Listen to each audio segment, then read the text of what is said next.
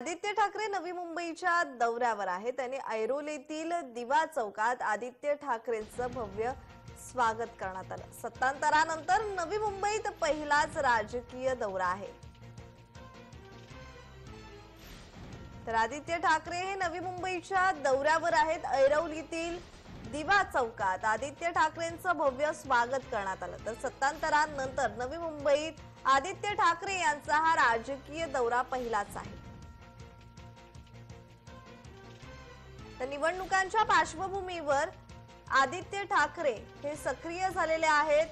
आदित्य ठाकरे हे ठाण्यातून नवी मुंबईत पोहोचलेले आहेत.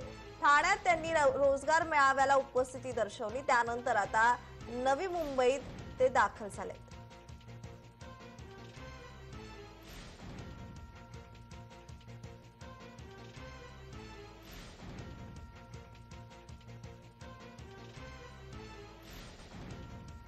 आदित्य ठाकरे नवी मुंबईच्या दौऱ्यावर आहेत. ऐरवलीतील दिवा चौकात आदित्य ठाकरेंचं भव्य स्वागत करण्यात आलंय.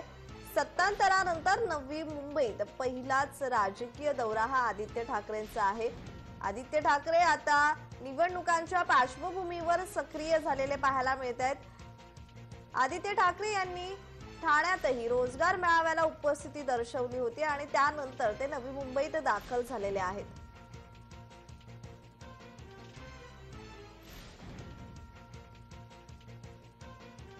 तर नवी मुंबईतील तीन शाखांचे उद्घाटन.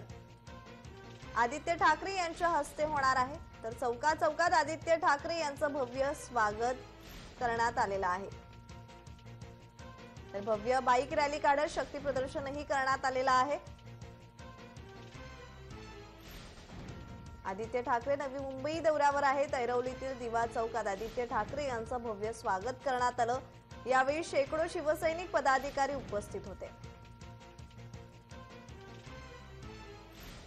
तर या संदर्भात माहिती देण्यासाठी आमच्या प्रतिनिधी कविता लोखंडे या फोनद्वारे जोडल्या गेलेल्या आहेत. कविता काय सांगाल? आदित्य ठाकरे आज नवी मुंबई दौऱ्यावर आहेत. तर आदित्य ठाकरे यांच्या कार्यक्रमाची रूपरेषा काय असेल?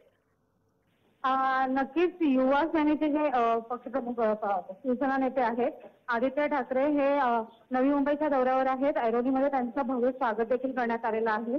सत्तांतरानंतर पहिल्यांदाच हा जो आदित्य ठाकरे यांचा नवी मुंबईमध्ये दौरा होत आहे त्यामुळे कुठेतरी युवा सेनेचे जे पदाधिकारी कार्यकर्ते आहेत यांच्यामध्ये आनंदाचं वातावरण आहे.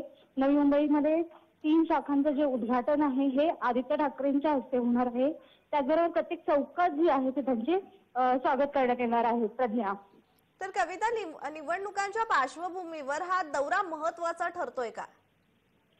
नक्कीच. नवी मुंबई महानगरपालिकेच्या निवडणुका नुकत्याच येऊन ठेपलेल्या आहेत. कधीही निवडणुका जाहीर होण्याची शक्यता वर्तवण्यात येत आहे. निवडणुका संदर्भात मोर्चेबांधणी देखील होण्याची शक्यता जी आहे ती वर्तवण्यात येत आहे प्रतिनिधी धन्यवाद कविता तुम्ही दिलेल्या माहितीबद्दल.